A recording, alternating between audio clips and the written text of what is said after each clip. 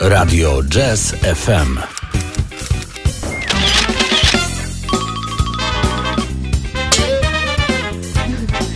Radio Jazz FM, a ja Laza w Jazz Do It. Naszym gościem dzisiaj jest e, pan Krzesimir Dębski. Witam serdecznie.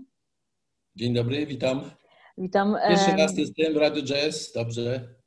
Właśnie bardzo się cieszymy, że Pan u nas e, zagości e, i że cały dzień będziemy mogli słuchać pana, pana muzyki i Państwo usłyszą też naszą rozmowę. A nawet macie płyty? Płyty macie moje? Mamy, mamy, my mamy wiele płyt. Nas się może po prostu docenia. Pan po prostu e, często chodzi do, do radia e, z muzyką poważną. Ja rozumiem dlaczego też, ale jazz e, Pana lubi i, i chcielibyśmy, żeby Pan częściej się pojawiał w jazzie. Mhm. I dlatego właśnie nie, nie wiem, czy możemy w ogóle rozmawiać o jazzie, czy Pan chce ze- mną rozmawiać o jazzie, bo Nie no, tutaj w takim radiu, no to o jazzie, proszę bardzo, możemy gadać o wszystkim. Bo e, w ostatnich pańskich wypowiedziach, co oczywiście rozumiem, e, chce pan być przede wszystkim utożsamiany z kompozytorem muzyki współczesnej, tak zwanej poważnej. E, Rozumiem to, ale często i chce pan odciąć się od, od łatki kompozytora muzyki filmowej, komercyjnej.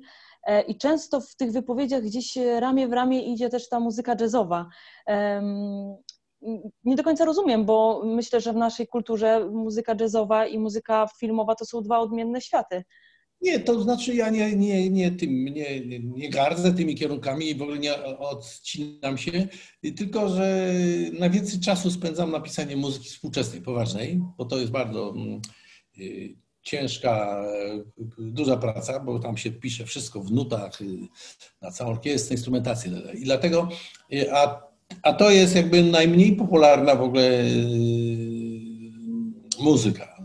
Gatunek który już w zasadzie jest, bywa czasami troszeczkę mm, dopuszczany, ledwo, ledwo w drugim programie w tej chwili.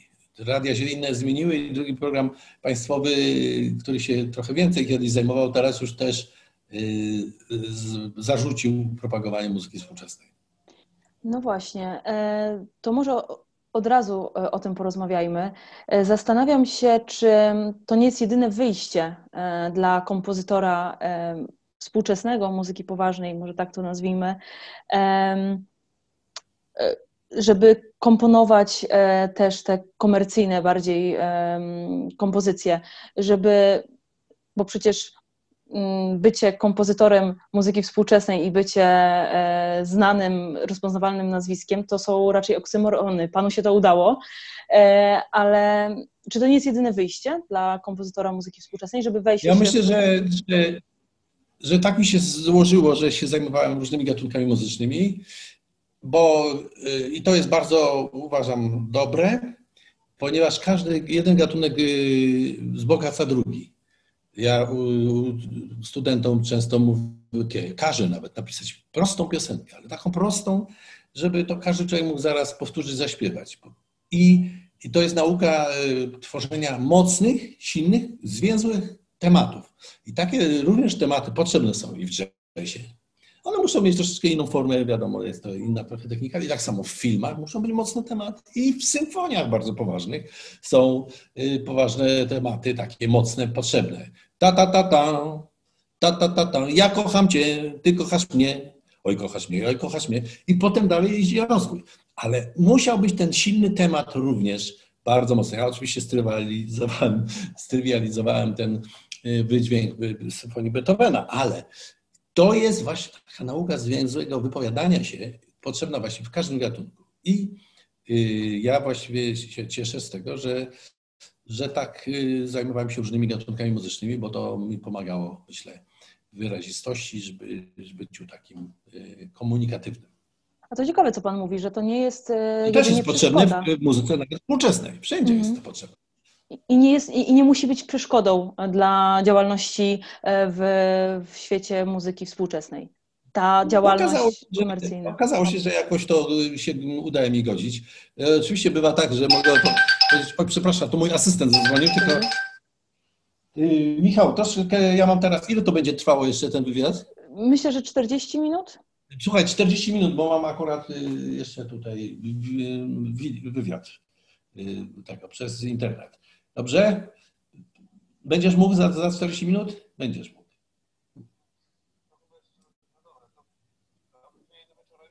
Tak, tak. Dobrze. Dobra. Dzięki, dzięki.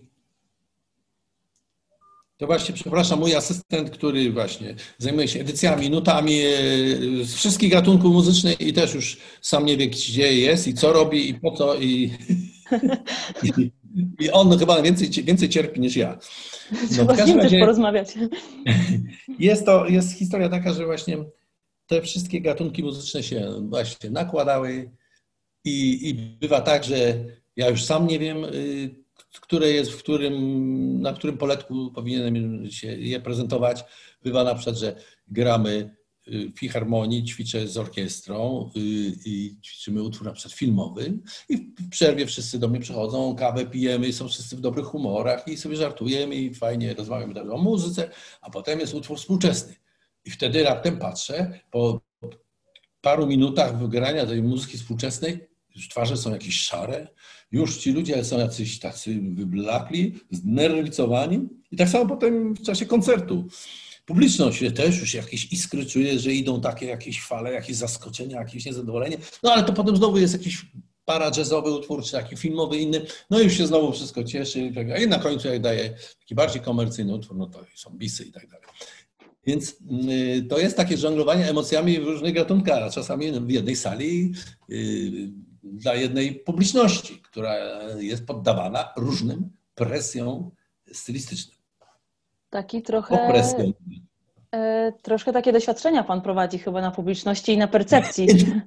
No czasami tak wychodzi, czasami tak to jest, że, że tak, tak to się odbywa. Wie Pani, no bardzo są dziwne w życiu sytuacje. Kiedyś w Los Angeles y, byłem na uroczystości rodzinnej u córki e, Henryka Warsa, kompozytora, mm. piosenek. Jeszcze mm, mm, wdowa żyła wtedy, no i córka też, które żyją akurat. I tam te wnuki i prawnuki y, rozrabiali coś, ale znaleźli, Danuta córka znalazła nuty przedwojenne Henryka Warsa, zdania. No i zaczęliśmy grać i śpiewać. Były tam kucharki, służba z Polski, panie z Podłomży, jedna szczególnie była taka, że wszystkie słowa znała wszystko i, no i śpiewaliśmy jedną za drugą piosenkę. No, wdowa prawie już płakała. I, i, I, cieszyła się, że jakoś to, ta, to oddziałuje, ta muzyka na te najmłodsze dzieci. E, I ja jeszcze, jak był utwór Sex Appeal, to jedna, to jest tutaj na broń kobieca, to, zrobiliśmy tak rapująco. I te dzieci też, jak rapto, no widziało, zaczęły tańczyć, no to już w ogóle się wdowa rozpakała, że nawet na prawnuki ta muzyka oddziaływuje. Więc yy, to nie jest to, że ja sobie tam spekuluję, tylko czasami trzeba nawet sprawdzić, czy to jest skuteczne, czy to działa na słuchacza, szczególnie w tych gatunkach komercyjnych. Czyli może e, kompozytorzy e, nie doceniają słuchaczy i, i, może boją się sami e, dać słuchaczom repertuar, a, bo myślą, że mogą sobie nie poradzić z tym repertuarem, a może się okazuje właśnie, że. że no czasami tak, no tak, są, są pomyłki, czasami no tak, nie, nie wychodzi. No, nieumiejętność też jest. No, to jest na, na, naprawdę sztuka trafić tak z prostymi rzeczami, no, żeby nie była ona aż tak bardzo banalna. Jak to jest, bo mówi się, często teraz narzekamy, że jest bardzo źle z, z muzyką klasyczną, że ludzie nie chodzą. No nie mówię oczywiście o pandemii i teraz o tej sytuacji, bo na wszystkich się to odbiło i na, na, każdym, e, na każdej formie e, muzyki się to odbiło, ale oczywiście mówimy o czasach przed pandemii, przed pandemią. Czy to jest, czy to jest faktycznie prawda, że, że, że tak jest źle u nas z, z odbiorem muzyki klasycznej, że coraz mniej ludzi się tym interesuje, czy może przez globalizację i przez to, że mamy większy dostęp do ludzi, widzimy więcej e, i też ta skala porównawcza jest szersza niż nie wiem, za czasów e, Prokofiewa. Nie, no, uczyło się bardzo, tak, bo y, no, przecież dzieci nie uczą muzyki w szkołach. Mhm. E, nie ma jakiejś, zanikły takie te programy dla dzieci właściwie umuzykalniające. No, ja w żadnej szkole nie ma chórów, w zasadzie chyba już. Nie, nie prowadzi się edukacji w ogóle artystycznej. To jest bardzo poważna sprawa. W związku z tym coraz mniej ludzi chodzi do filharmonii. Y, dyrektorzy, tacy stali dyrygenci mówią, że ludzie tylko przechodzą na Mozarta, Beethovena i ewentualnie muzykę filmową. Nie chcą y, słuchacze poznawać innej muzyki, no, współczesnej i innych kompozytorów w innych krajach.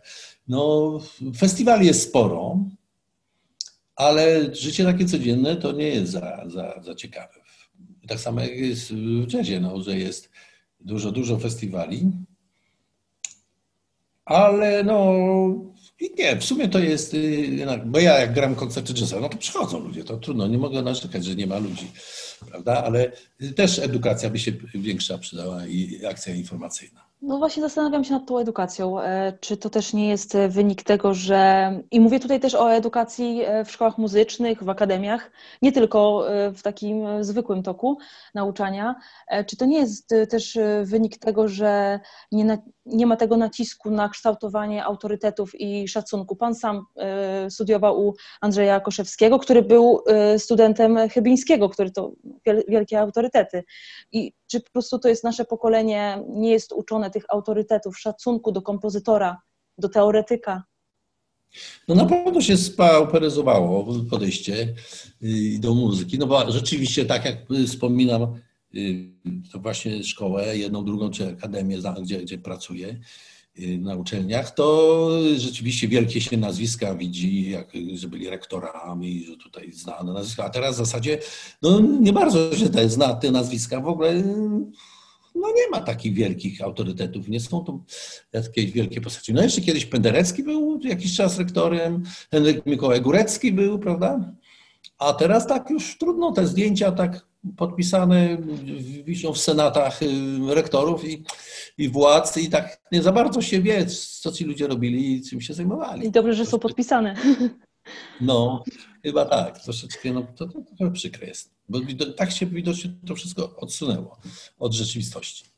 Mm, wróćmy jeszcze na chwilę do tego e, łączenia i przenikania się różnych światów e, e, u Pana. Mówił Pan o samym już wykonawstwie przeróżnej muzyki w jednym czasie i w jednym miejscu. A jak jest z, z samym komponowaniem i z technikami kompozytorskimi? Bo ostatnio rozmawiałam z profesorem Kłakowskim, Leszkiem Kłakowskim. Rozmowa okazała się w Jazzpressie wrześniowym, to na przykład właśnie profesor Kołakowski mm, przede wszystkim bazuje na tym, że w swoich kompozycjach, w swojej twórczości łączy, próbuje e, łączyć e, dwa światy, muzyki współczesnej z jazzową.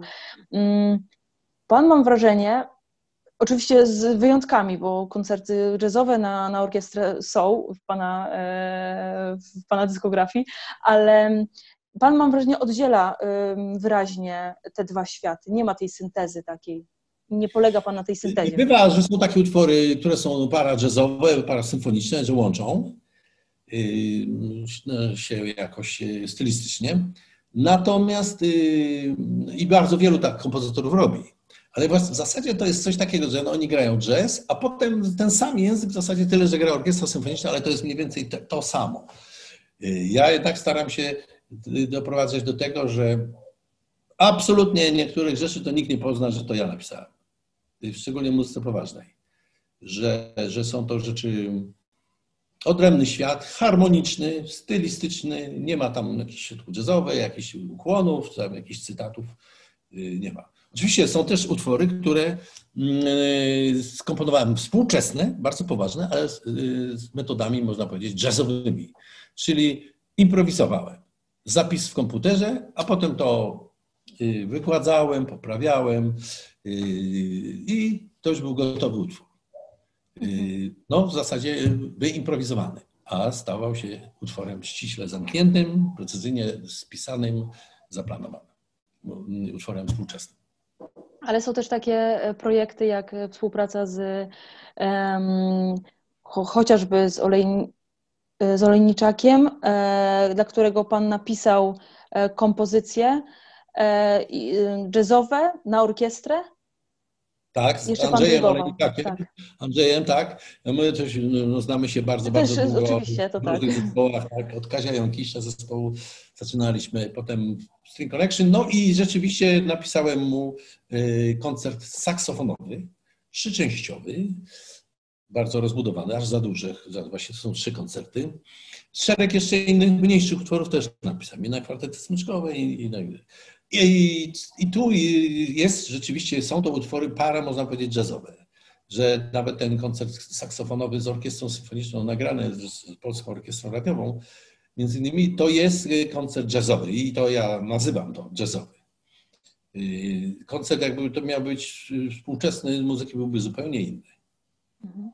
E, Takim kolejnym e, projektem jest, e, tylko to już wydaje mi się e, na, na etapie wykonawczym, zaproszenie doskonałego wokalisty Jorgosa Skoliasa, który też był gościem w ramach Jazz Do It, naszych rozmów.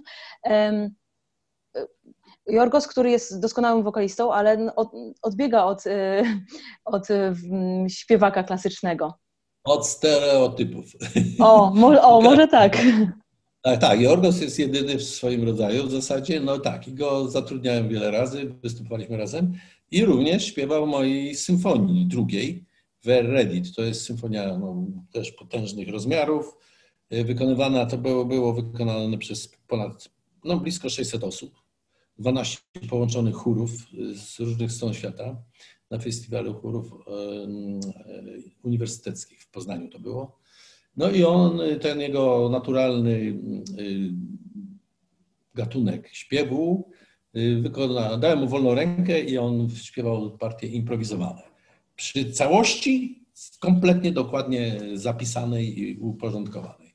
To był taki olbrzymi kontrast i taki specjalny, jakiś taki trend, ale bardzo udane myślę, bo to bardzo ciekawie zabrzmiało i zdumiewało tych, tych set, te setki chórzystów klasycznych, którzy tak, czegoś takiego nie słyszeli.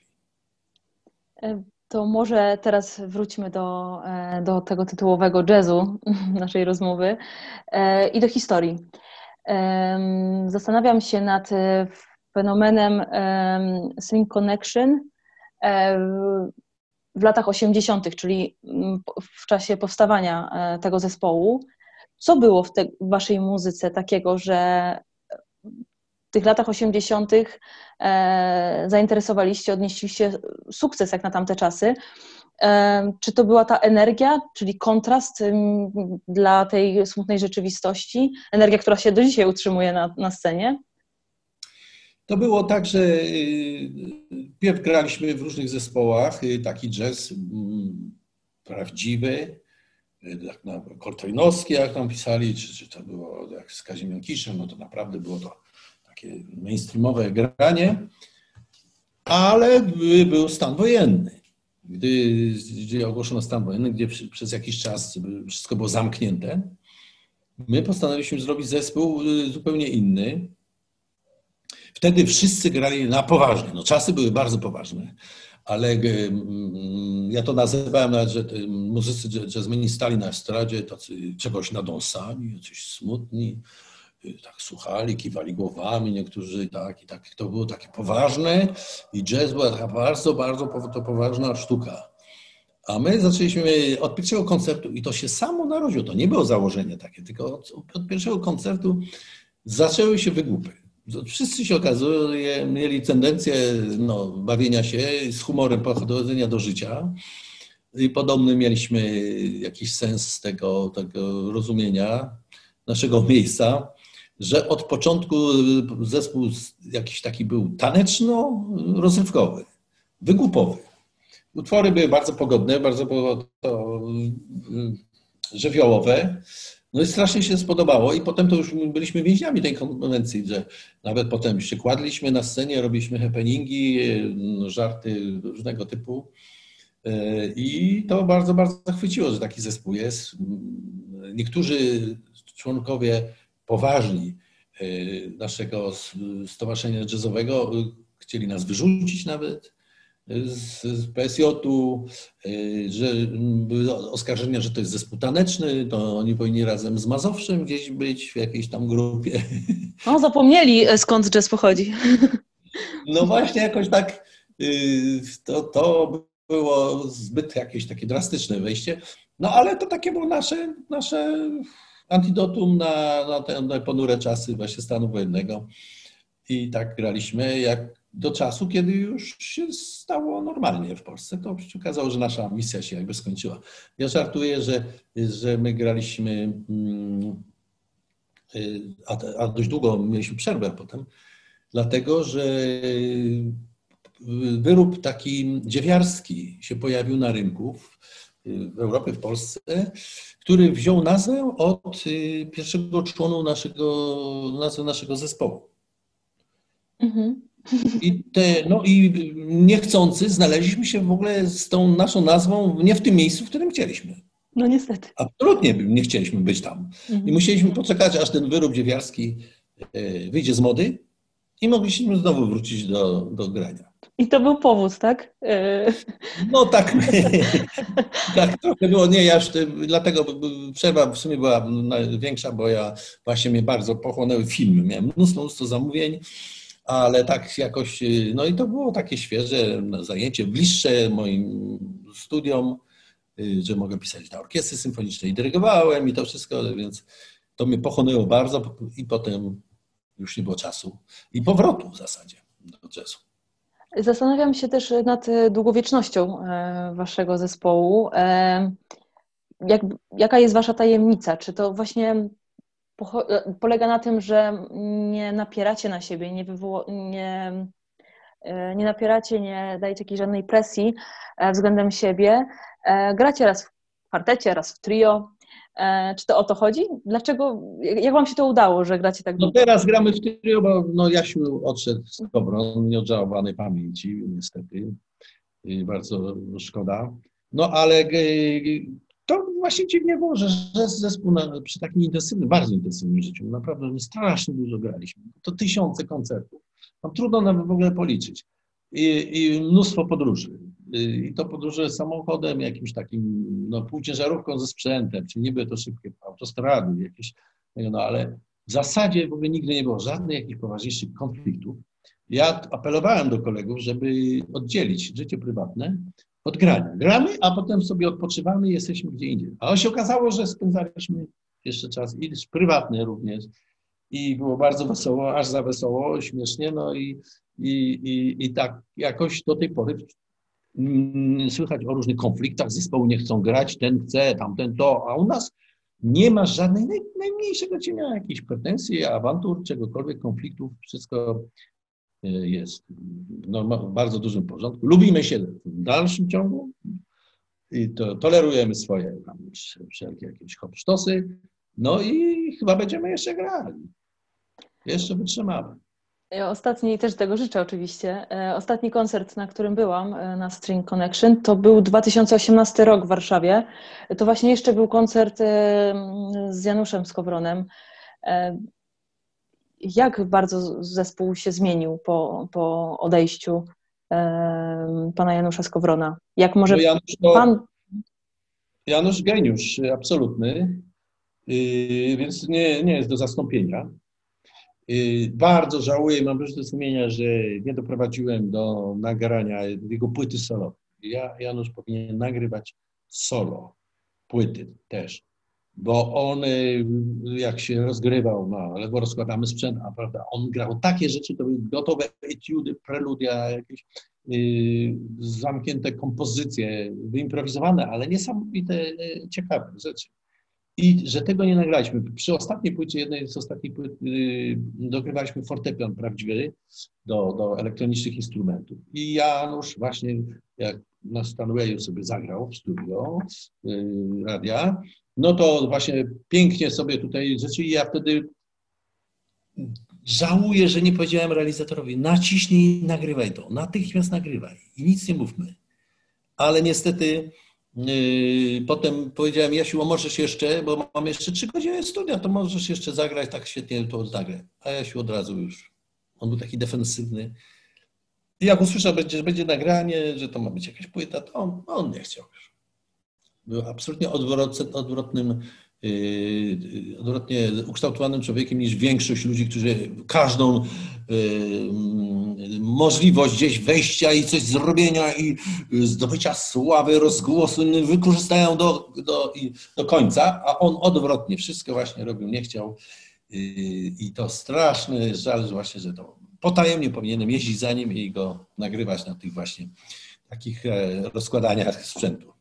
Trzeba, trzeba było tak zrobić, ale, ale też może to nie była jego wola, i, a nasz świat jest też tak skonstruowany, że jak się mm, ktoś nie narzuca, to niekoniecznie e, świat go doceni, ale to też jest świadomość. Tak, to było, to my właśnie jeszcze się wychowaliśmy wszyscy, że to wszystko chcieli ktoś. Radio nam proponowało nagrajcie. A to zagrajcie tam, to jedźcie za granicę, a tu nas zapraszają, a tu zapraszają. A teraz właśnie się okazuje, że to wszystko trzeba załatwiać. To nie że tam yy, no trzeba pójść, tam wyprosić, to stypendium wziąć, załatwić, to stypendium da, dawali, yy, wyjazdy dawali, czy jakieś zaproszenia. Teraz słyszę wszyscy, to, to trzeba ludziom mówić, że to mają zrobić i dać coś prawda? Ubiegać się, pisać wnioski, jakieś masowe, to wszystko jest no naprawdę w tym świecie takim, to ja się tutaj nie umiem w ogóle znaleźć i Jasiu tym bardziej się nie umiem znaleźć. I, i tak, niektórzy my próbujemy coś tam, że tak powiem, załatwiać, no ale to jakoś wstyd w ogóle przychodzić i prosić, narzucać się, że ja chcę coś. Nie wyobrażam sobie, żebym ja tutaj zadzwonił do pani, a może ja bym miał wywiad u pani, bym dałaby radę? No niestety tak nie było, tylko pani chciała, prawda? Tak. W życiu bym nigdzie nie, nie zadzwonił, że coś chce takiego. No tak, jest, tak się zmieniło w naszym świecie. Faktycznie, jest to, nie, nie, nie, połączyłam faktów, y, że to jednak jest pokoleniowa sprawa, bo faktycznie y, nawet w, kontakcie z młodszymi muzykami jest zupełnie inne, inne podejście. To muszę się nad tym zastanowić, bo to faktycznie jest... No tak, jak się mówi, da się palec, to zaraz rękę zjedzą. Ale faktycznie moje pokolenie jest e, takie nastawione bardzo e, bojowo i też do, do świata, żeby jak najwięcej wziąć. Nie wiem właśnie dlaczego, ale to też nie jest dobre, bo niestety dochodzi do, do takich sytuacji też, no, e, no może zakończymy ten temat. Wracaj... Żenu, żenujący, żenua. No troszkę dobrze, że to Pan powiedział. Dobrze, że Pan powiedział, mi nie, wy, nie, mi nie wypada. E, drugim koncertem, e, na którym byłam ostatnio, no wiadomo, że teraz e, już na razie na koncerty nie chodzę, e, to był... To był map e, Czerwińskiego, Adama Czerwińskiego. Bardzo mhm. kameralny koncert z Pana udziałem, ale jeszcze przed e, płytą Grów Oberek. Grał Pan jako gość e, w tą pierwszą płytę. E, pamiętam, że koncert był taki bardzo wypełniony wzajemną przyjemnością gry i zabawą. To dlatego zdecydowa zdecydowaliście się razem zagrać, nagrać płytę Grufoberek? Właśnie przez takie koncerty, takie spotkania? Tak, no koncerty szły bardzo przyjemnie, sympatycznie. Się właśnie okazało też, że mamy taki podobny Y, punkt widzenia na nagranie, na to właśnie załatwianie.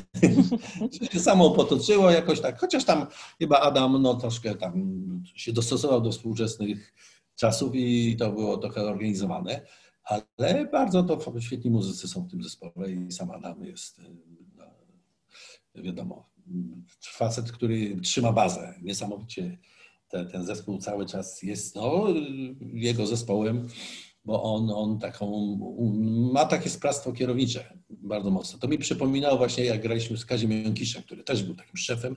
Niektórzy bardzo się śmiali, jak to perkusista z szefem zespołu w Polsce? Nie było takich zespołów. Właściwie chyba właśnie Kazimierza Jąkisza Kwintet był pierwszym zespołem prowadzonym przez perkusistę. No, i, ale to tam on po prostu zasługiwał na taką funkcję, bo, bo miał absolutnie takie zdolności.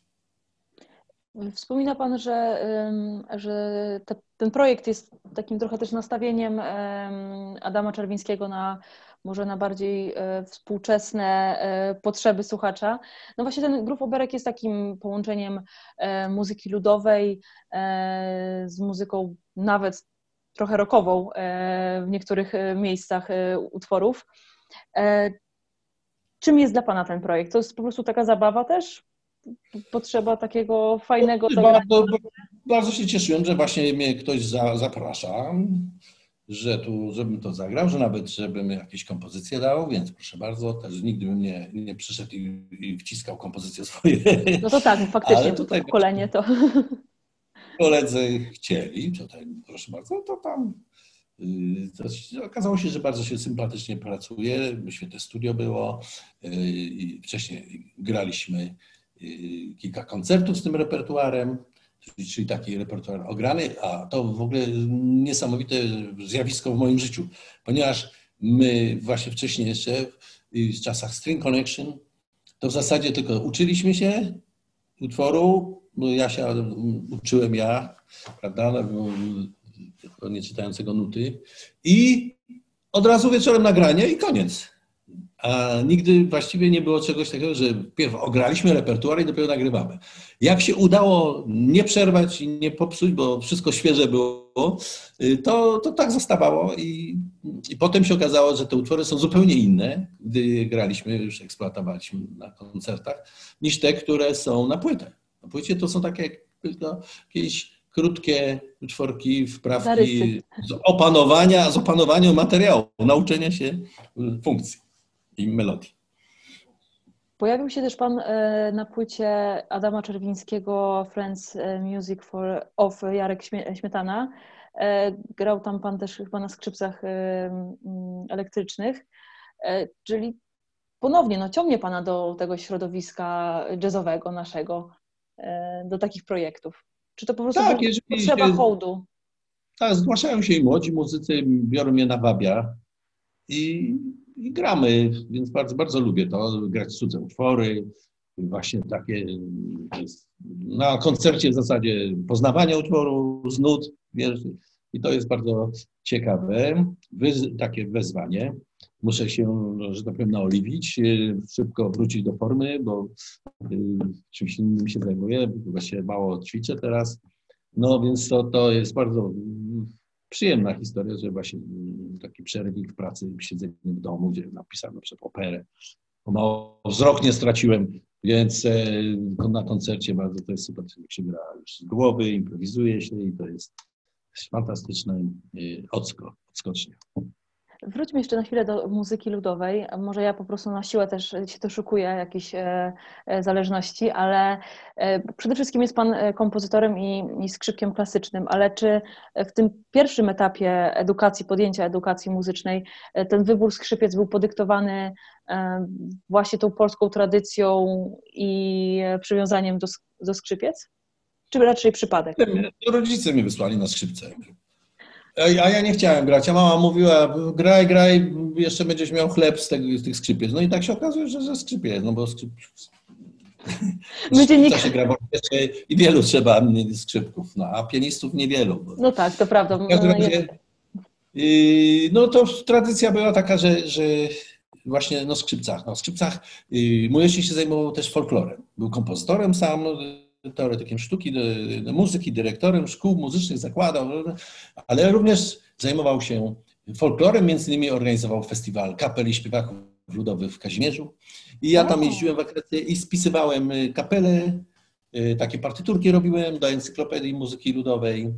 No dzisiaj jest ten gra... festiwal. Tak, i to y, i ja też grałem na ludowo, brałem udział nieraz w takich festiwalach jako muzyk. Y, ostatnio z Adamem Glazem, to jest skrzypek, 85 lat ma, taki z Biłgorajskiego, fantastyczny muzyk i bardzo lubię z nim grać, bo nigdy nie wiadomo, co on zagra.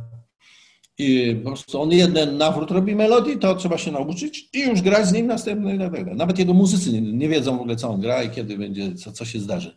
I się cieszę, że umiałem się nauczyć szybciej niż oni w tym jego zespole i mogłem mu wtórować, prawda? No, to są też zupełnie coś innego, ale, bo stylistyka inna, ale to jest też bardzo ciekawa rzecz, wszystko się tam rodzi no, z przypadku często, że to jest taki, taka jakby jazzowa sytuacja. Tak, taka I, naturalna tak. spontaniczność też. Tak, tak. Mm. I, i, a, i, i umiłowanie grania. To, te, te, te, ci starzy muzycy, to oni bez przerwy grają. Już na śniadaniu w hotelu już ludziom grają.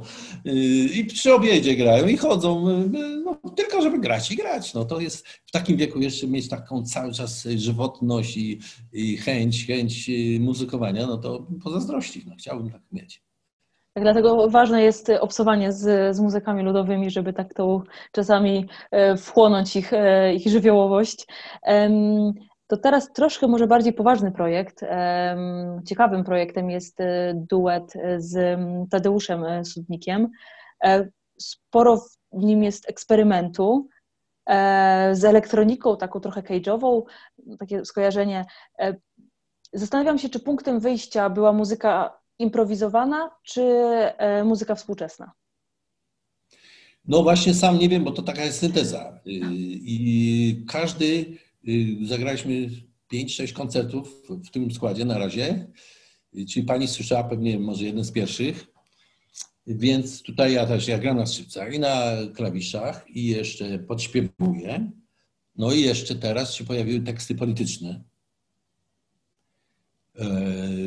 moje własne teksty albo wyjątki z przemówień liderów, szczególnie tych takich faszyzujących, tych, którzy nie lubią obcych, ksenofobicznych, to ja to właśnie bardzo mocno akcentuję.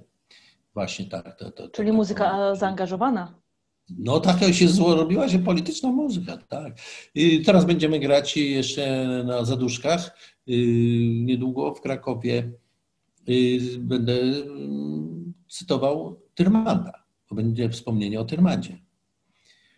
I tam są, ja pamiętam te dzienniki, jak czytałem je z 20 lat temu albo więcej, że wiem, że już jakie fragmenty sobie wybiorę, bo tam są też bardzo, bardzo ciekawe rzeczy. I e, do tego będzie zupełnie też inny rodzaj tego, tych bitów, tej, tej, tej elektroniki i cytaty będą z lat 50. myślę, tak sobie projektuję i, i trochę jakby standardy z jakiegoś studni, z, z dna studni wyciągnięte. E, to będzie też jakiś taki zupełnie świeży program i, i bardzo mnie właśnie interesuje, bo zawsze chciałem w ogóle teatr robić w, w.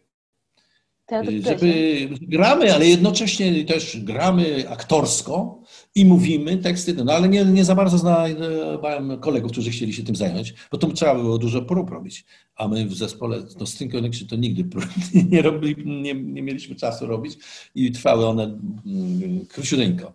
Tyle no, młodych trzeba... muzyków zaangażowanych jest i chętnych. Ale teraz może jakiś młodych znajdę i zrobimy no. teatr, rzeczywiście, teatr z prawdziwymi, poważnymi, zajmującymi się poważnymi problemami takimi, nie, nie takie żarty. Nie, komedia też musi być elementy komediowe, ale, ale taki, taki to chciałbym, żeby to był taki y, teatr y, ludowy, mhm. taki średniowieczny, y, jak, jak z, no, z tymi sprośnościami nawet takimi, jak u Boccaccia czy Pantagruel, coś takiego, ale no zobaczymy, czy znajdę taki partnerów. Czyli taki trochę też paradoks, że w czasie stanu wojennego e, się wygłupialiście, a, a dzisiaj e, mówiąc o polityce, e, mówi Pan, że też dużo poważnych takich, poważnego tonu będzie w tym. Czyli jednak no mówię, inna reakcja jest też, prawda? No czasy są znowu takie jak w stanie wojennym, no właściwie znowu jest już, właściwie ta sama atmosfera wróciła można by powiedzieć, takie kłamstwo i takie, takie robienie ludzi w konia zupełnie. No. E, Więc... Różnica jest taka, myślę, że choć nie jestem e, z pokolenia stanu wojennego, ale wiem z historii, że różnica jest taka, że dzisiaj my jesteśmy podzieleni, a, a w stanie wojennym e, było białe i czarne, było nazwane wyraźnie i, i naród był, myślę, jednością. Były oczywiście patologie, ale większa część narodu była jednością, a dzisiaj jesteśmy... Tak, było łatwiej rozpoznać, kto jest kim i kto, a teraz tak, się naprawdę bardzo mocno się to wszystko skomplikowało, zakapoućkało i, i no tak, i, i będzie jeszcze gorzej, ponieważ no, ludzie, większość ludzi jednak to są konformiści, którzy no, będą się podkładali, bo właśnie można coś załatwić, bo tutaj coś na tym skorzystać. No niestety tak będzie. To trochę atmosfera yy, podobna jest jak po upadku powstania styczniowego, że jak czyto, czytałem parę takich rzeczy, relacji z tamtych czasów, no to bardzo jest podobna atmosferka i podobne yy, ludzkie słabości wyłażą na wierzch. Mhm. To może właśnie o, o, o odwadze do mówienia prawdy. Chciałabym porozmawiać o pańskiej książce Nic nie jest w porządku. Książce, która nie jest książką muzyka, tylko książką e, syna, e, wnuka ofiar i poszkodowanych. No tak, y, to jest relacja człowieka z rodziny uchodźców. Tak bym powiedział. No tam nie ma ani słowa chyba o muzyce. To jest bardzo dziwne, że w tej książce poprzednie były tam różne anegdoty, jakiees takie rzeczy y, z muzyką związane, a tutaj prawie nic, chyba że wspomniałem, że, że organy e, w XVII wieku, XVIII w kościołach katolickich nawróciły więcej prawosławnych y, chłopów ludu ukraińskiego czy białoruskiego, ludzi na katolicyzm niż jezuici. Ta, taka była siła i potęga oddziaływania y, organów, potęgi brzmienia i, fantastycznego, y, fantastycznego nastroju, jakie organy tworzyły. To prawda i wykazał się, tak przynajmniej to w mojej ocenie, wykazał się Pan nie tylko publikacją tej książki, ale też za każdym razem mówieniem otwarcie o, o całej e, no, zbrodni, ludobójstwa e, na Wołyniu. E, wykazał się Pan odwagą mówienia o rzeczach, o, pra o prawdzie historycznej, która jest zagłuszana poprawnością polityczną, mam wrażenie, dzisiaj.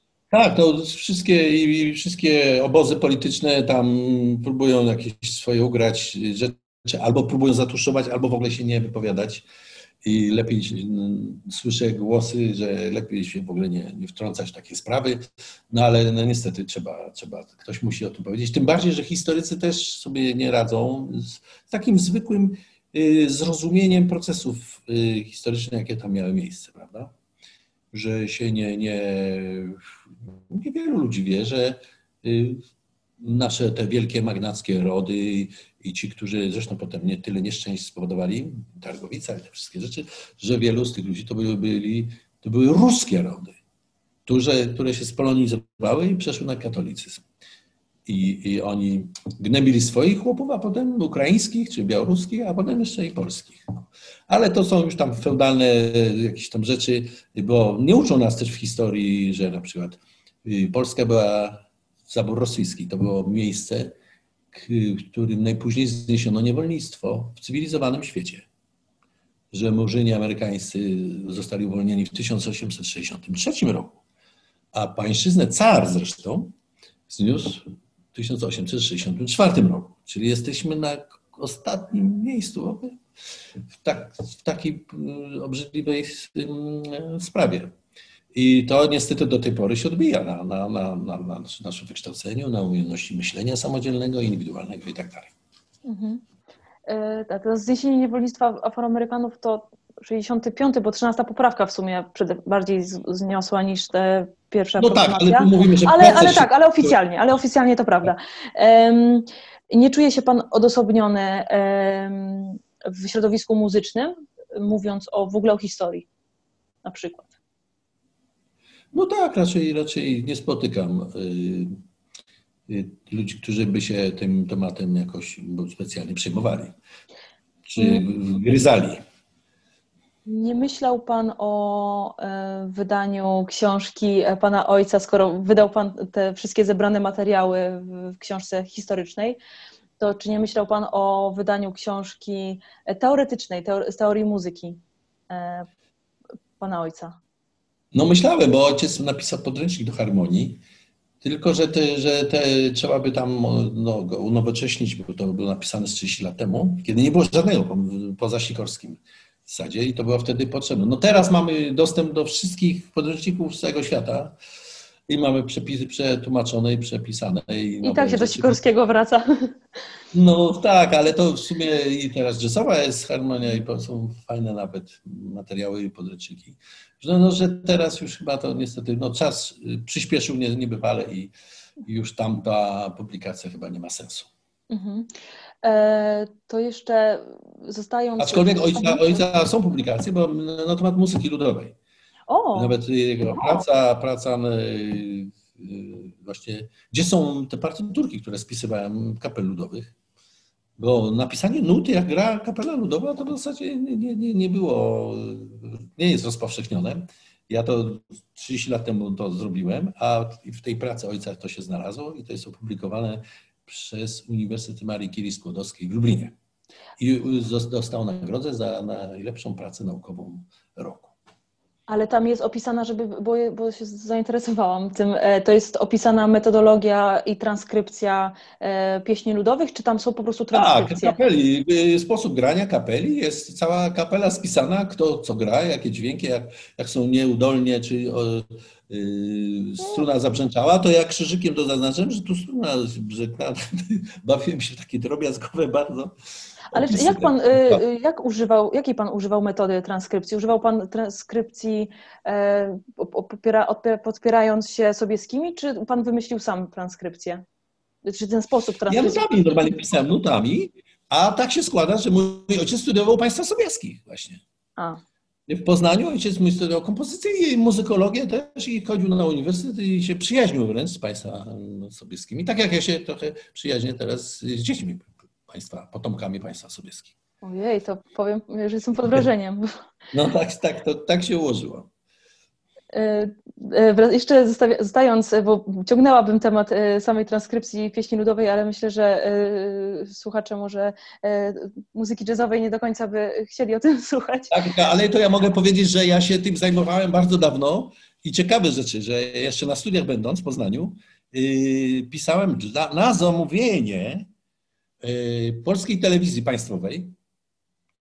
Pisałem y, transkrypcję y, przebojów, piosenek amerykańskich, które potem były piracko nagrywane przez orkiestrę Polskiego Radia w Poznaniu i w programach telewizyjnych, nawet na potrzeby programów Laskowika czy Kabele Tutaj.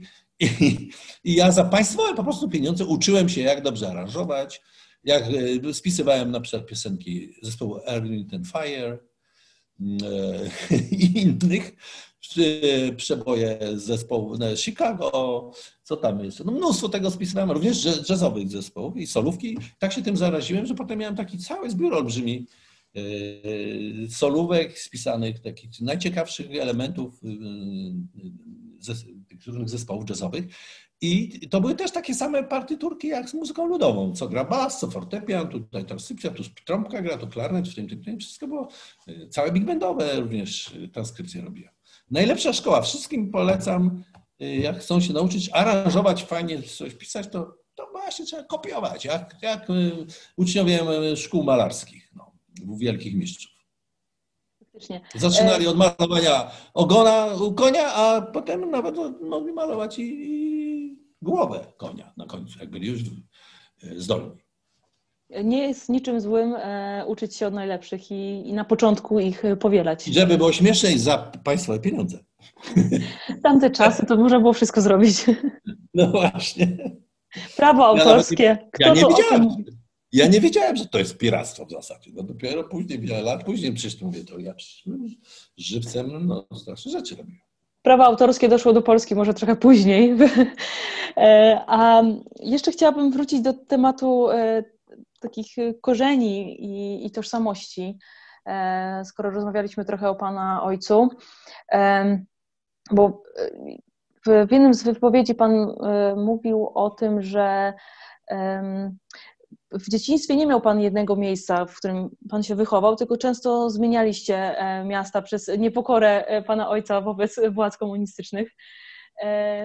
I czy ten brak jednego miejsca e, w dzieciństwie był powodem tego, że wybrał Pan te kresy jako, jako region do, do utożsamiania się? Czy, czy to... No tak, jakoś tak się to, to zrobiło rzeczywiście, bo rodzice cały czas stęsknili do tamtych terenów i opowiadali, i spotykali się, i odwiedzali się z właśnie wołyniakami, z ludźmi, no nawet nie krewnymi zupełnie, ale to były takie bliskie relacje, jakby to była najbliższa rodzina. Y, bywały, że wakacje całe jeździliśmy od miasta do miasta, wsi do wsi i ciągle czuliśmy, jak byliśmy, jak, jakby, jakbyśmy byli urodziny. A potem się okazało, że to w ogóle nie, nie jest żadna rodzina, albo że oni się raz widzieli kiedyś. Ale to były też więzi partyzanckie, jeszcze z 27 Dywizji Wołyńskiej, AK. No więc to tak wszystko było blisko. No a y, co w jakimś mieście mieszkaliśmy, no to tak krótko to trwało, że y, no, w następnym mieście trzeba było szukać kolegów, koleżanki i tak dalej.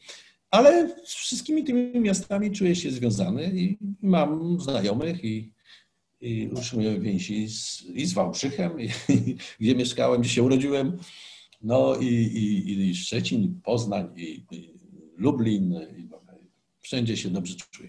I nie trzeba mieć jednego miejsca. Ta, to tak, nie trzeba mieć. Tak, tak, kiedyś by można było mieć tylko jedno mieszkanie, teraz można mieć w wielu miastach mieszkania i mieszkać i czuć się dobrze.